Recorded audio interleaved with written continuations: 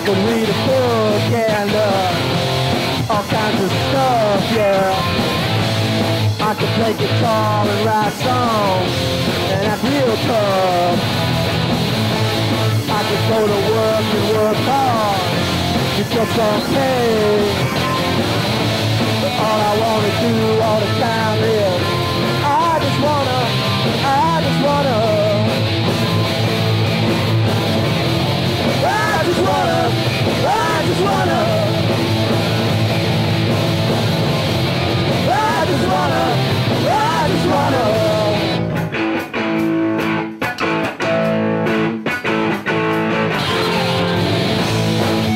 have a friendship band.